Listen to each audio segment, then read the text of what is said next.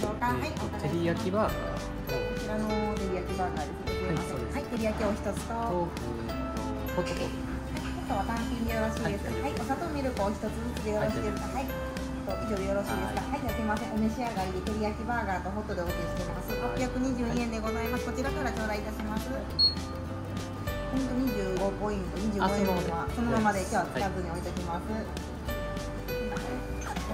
ありがとうございます。でご用意できましたらすいません。26番のお席までお持ちいたします。ありがとうございます。